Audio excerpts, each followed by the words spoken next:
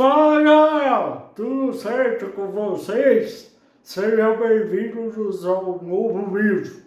O título de hoje é Força de Vontade, parte final.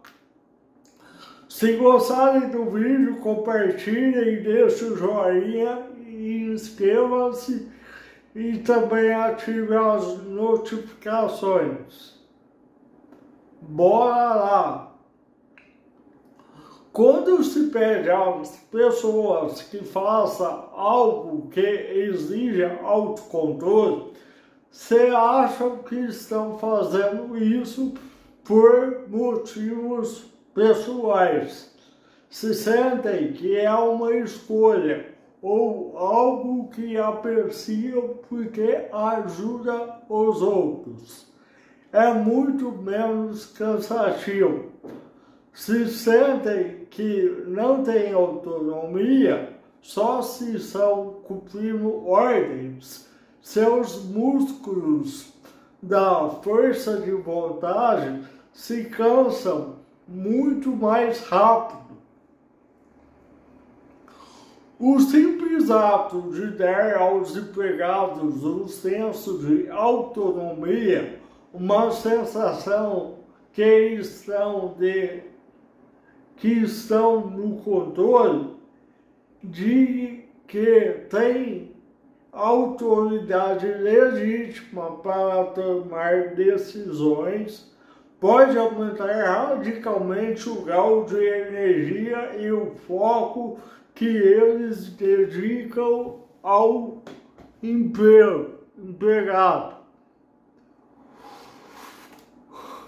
Que dedicam ao emprego um estudo de 2010 numa fábrica de Oreo, por exemplo, examinou que funcionários da linha de montagem que receberam autonomia para tomar pequenas decisões sobre seus horários e ambiente de trabalho eles desenhavam seus próprios uniformes e tinham autoridade sobre os turnos.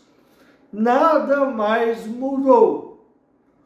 Todos os processos de fabricação e escalas de pagamento continuaram iguais. Dentro de dois meses, de dois meses, a produtividade na fábrica cresceu 20%. Os funcionários estavam fazendo intervalos mais curtos e cometendo menos erros. Dar aos empregados senso de controle melhorou grau de autodisciplina que dedicavam seus empregos. Esse, um abraço a todos vocês e fui, valeu!